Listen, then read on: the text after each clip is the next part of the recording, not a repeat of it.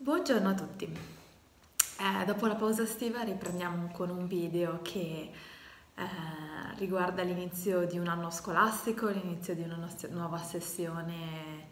di esami, l'inizio di, di un nuovo anno di produttività.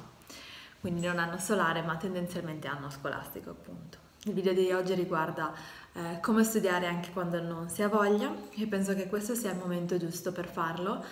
eh, perché trovarsi all'ultimo a studiare, eh, anche se non si ha voglia, lo si fa lo stesso. E adesso è il momento di studiare, nonostante non si abbia voglia, non si abbiano scadenze a breve, è il momento giusto per eh, imparare strategie nuove, ehm, modi nuovi per eh, aiutare lo studio, nonostante eh, non sia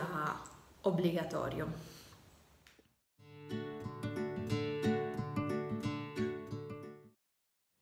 Il primo consiglio che do è ehm,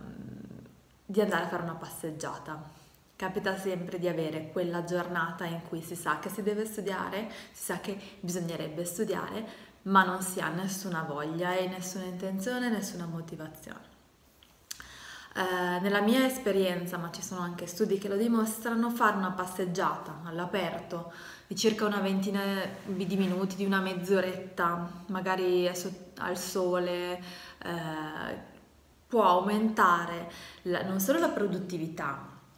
ma anche diminuire i livelli di stanchezza. Infatti l'esposizione al sole aiuta allo sviluppo della vitamina D e quindi di diminuire il senso di fatica. Eh, oltre a questo, appunto, eh, lo spazio di uh, una mezz'oretta per schiarirsi le idee, non essere attaccati a uno schermo, ma quindi uh, essere, se possibilmente nella natura, magari o anche fuori in città, non importa, dà la motivazione giusta per poter uh, iniziare una sessione di, di studio più, più motivata e più, uh, con più voglia, meno fatica, eh, più motivazione.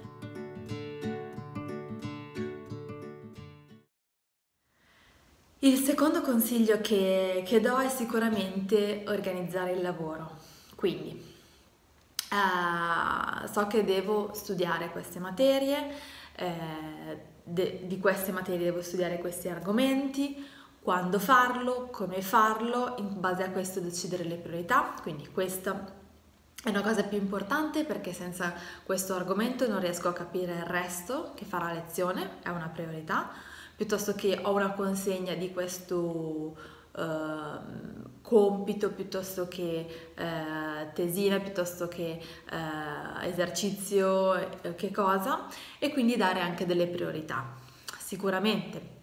la tendenza di voler fare tutto, ma nelle giornate in cui proprio non ne abbiamo voglia, ehm, sapere quali sono le cose più importanti da fare per cui c'è dell'urgenza eh, è una delle cose che eh, aiuta, può aiutare. E quindi eh, farsi un planning, a me piace molto fare i planning e quindi eh, anche a lungo termine aiuta nel senso di produttività, per cui um, Uh, so che entro questo, questa data, che sarà magari a gennaio, devo fare uh, questi esami, devo studiare questo, questi argomenti, per cui faccio in modo di scadenzarmeli, tipo dedicare un tot a settimana tutte le settimane per questo argomento, due ore a settimana per questo progetto, eccetera, eccetera. Quindi uh, programmare sia a lungo termine che a breve termine, quindi magari questa settimana, solo questa giornata, aiuta a mettere... Um, diciamo, il, a far partire la voglia un pochino di, di, di studiare.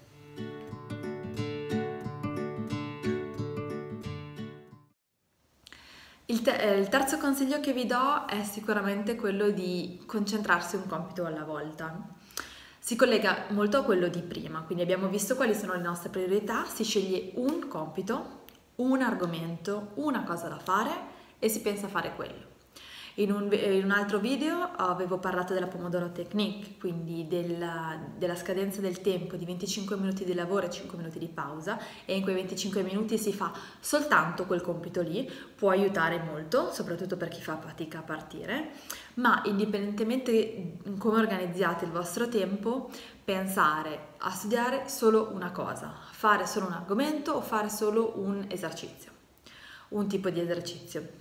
concentrandosi solo su quello. Semplifica perché è facile dire uh, non appena questo di, diventa difficile, non appena non capisco saltare un altro argomento oppure fare un'altra cosa. Aiut- non aiuta alla concentrazione e non aiuta ad essere uh, produttivi e a capire bene. Quindi concentrarsi per un tot di tempo che possono essere 25 minuti, per me funziona molto bene, ma come volete organizzarvi voi eh, su un solo argomento, quindi una sola cosa da fare, e, ma fatta bene. E questo aiuta molto la, la testa anche a non disperdersi, non perdere focus. Se perdi concentrazione è più difficile, eh, sei meno motivato, se invece riesci a concentrarti su un'unica cosa, eh, fai quella finché non l'hai completata e aiuta molto a partire quando si fa fatica nei giorni in cui non si ha voglia.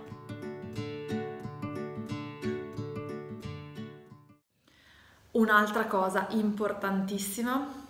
è sistemare lo spazio di lavoro. Eh, avere una scrivania, una camera, uno studio in disordine rende la testa disordinata. Avere un luogo di lavoro eh, libero da distrazioni, libero da confusione, aiuta a concentrarsi, aiuta ad avere anche la mente più libera. Per cui eh,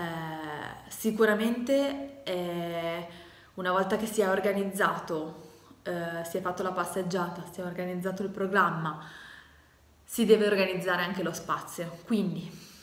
liberare, cercare di togliere me, più, più, possibile cose, avere solo il necessario e averlo lì, quindi non dover ogni volta andare a prendere l'evidenziatore, la penna, il block notice, quindi mettersi lì tutto quello di cui c'è bisogno e togliere tutto quello di cui non c'è bisogno, quindi tutte le distrazioni come possono essere il telefono, come possono essere il computer, mettere tutto in modalità aereo.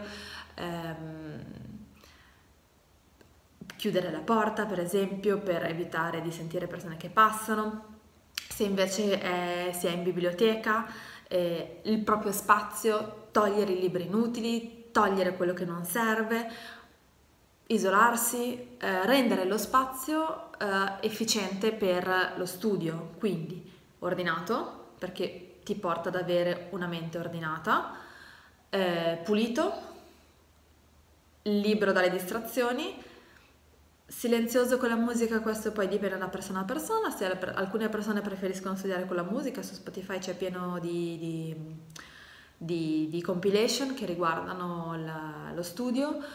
c'è chi preferisce il silenzio, ognuno ha le proprie preferenze, ma rendere l'ambiente di eh, lavoro o di studio il più eh, predisponente possibile allo studio ovviamente. E quindi ehm, non avere nessuna scusa per eh, non poter essere concentrati, nonostante la giornata non sia una giornata che aiuta, perché abbiamo detto che queste te- tecniche si usano quando non si ha voglia.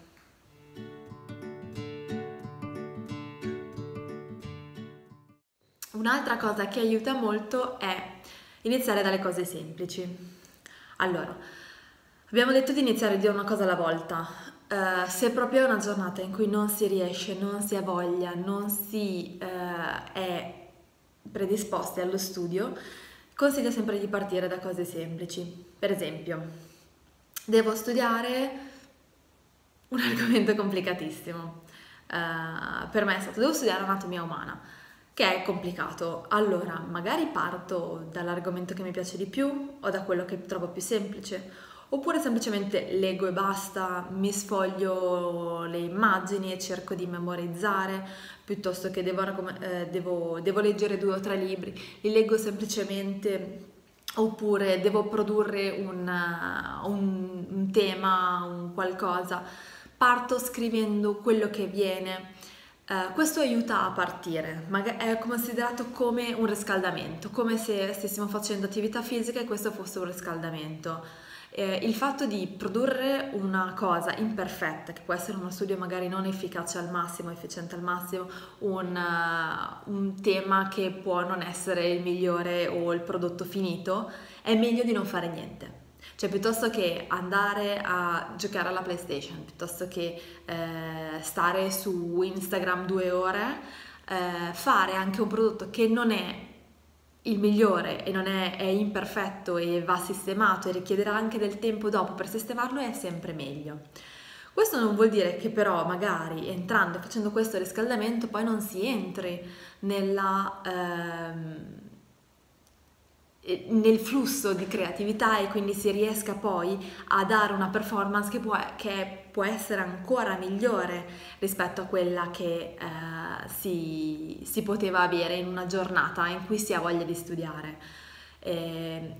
in ogni caso il difficile è partire, non continuare, per cui l'importante è partire con cose semplici, magari che non sono così utili ma hanno una minima utilità e ci permettono però di iniziare a entrare nel uh, fare, perché poi una volta che si è partiti si è un po' come il diesel, no? Partire è difficile, una volta che si è partiti si va avanti meglio. Per cui iniziare con cose semplici, quando si, si sceglie l'unico task da fare, l'unico compito da fare in quel periodo di tempo perché ci si è organizzati, scegliere magari una cosa più semplice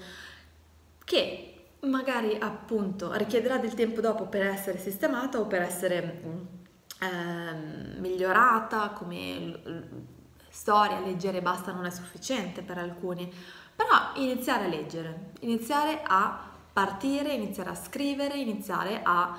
eh, fare qualcosa e iniziare dalle cose semplici può aiutare eh, quando proprio non abbiamo voglia.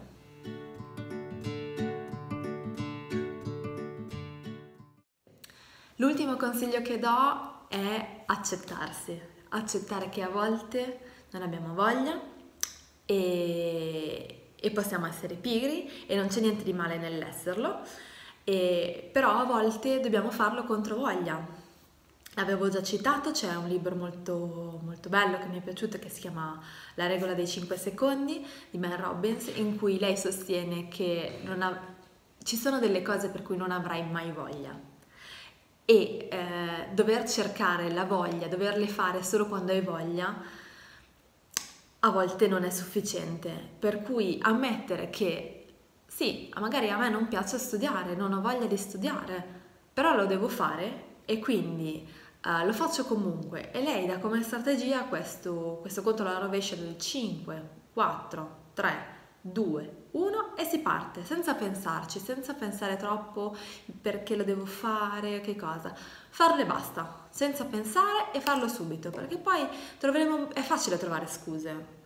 però sono cose che vanno fatte a volte e ammettere che non si ha voglia non c'è niente di male, va benissimo, semplicemente farle. Ogni tanto ci sta una pausa, limite tra ogni tanto è sempre abbastanza sottile, per cui eh, alle volte ci vuole una spenta in più e farle nonostante non si abbia voglia.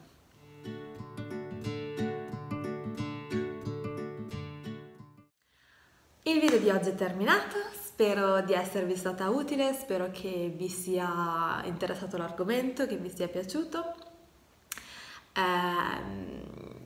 è un argomento molto difficile da affrontare, per alcune persone è molto, fa- è molto facile studiare, piace studiare, per altre è più difficile, eh, soprattutto quando si deve studiare qualcosa che non piace.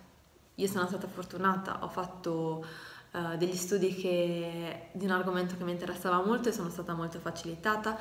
però sempre ci sono anche all'università degli esami che non è che mi piacessero più di tanto, però vanno fatti e e rinforzare il, la, il farlo nonostante eh, non abbiamo voglia aiuta poi a diventare sempre più bravi a studiare.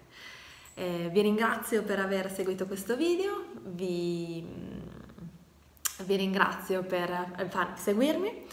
eh, se vi è piaciuto il video mettete il like e se avete voglia di vedere altri uh, video riguardo al miglioramento personale, la crescita personale, eh, eccetera, eccetera, seguite il mio canale e